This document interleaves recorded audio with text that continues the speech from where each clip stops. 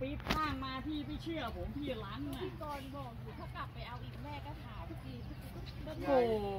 คิดไปจะไปไหนอีกล่ะคิดแต่ทีแรกไปแล้วก็ของเราไม่มีอะไรเนาะแหมผมอุตส่าห์ไลน์ไปก็ ผมยังคิดอยู่สงสัยจะออกมาหรือยังว่าออกมาสงสัยไม่ทันแน่